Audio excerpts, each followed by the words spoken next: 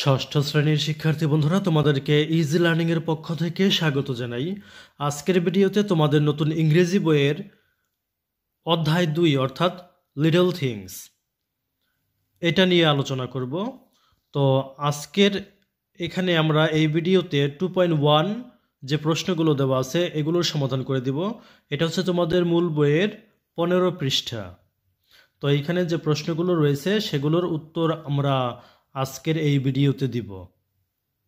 তো চলো শুরু করা যাক। এখানে লক্ষ্য করো, আমাদের এই নাম্বার প্রশ্নটি ছিল যে how do you help your parents at home তুমি তোমার পিতামাতাকে কীভাবে বাড়িতে সাহায্য করো?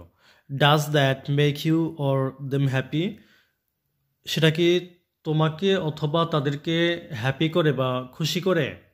তো উত্তরে আমরা লিখব, একটা নমুনা উত্তর হিসেবে আমি যে উত্তরটি দিয়েছি সেটি হচ্ছে I help my parents by doing their household works আমি আমার পিতামাতাকে তাদের গৃহের কাজকর্মে, কাজকর্ম করে দিয়ে সাহায্য করি। And that makes me and them happy এবং এটা আমাকে এবং তাদেরকে আনন্দিত করে বা খুশি করে। এরপর দেখো, বি নম্বর যে প্রশ্নটি ছিল, সেটি হচ্ছে এরকম। যে what do you usually do to make your brother sister friend happy when they are sad তুমি সাধারণত কি করো যখন তোমার ভাই, বোন, বন্ধু এরা দুঃখিত থাকে বা মন খারাপ থাকে তখন তুমি কি করো? তো এই প্রশ্নের উত্তরে আমরা যে নমুনা উত্তরটি লিখেছি সেটি হচ্ছে I usually sing a song for them আমি সাধারণত তাদের জন্য একটা গান গাই টু মেক দেম হ্যাপি তাদেরকে হ্যাপি করতে। সি নাম্বার প্রশ্নটি লক্ষ্য করো।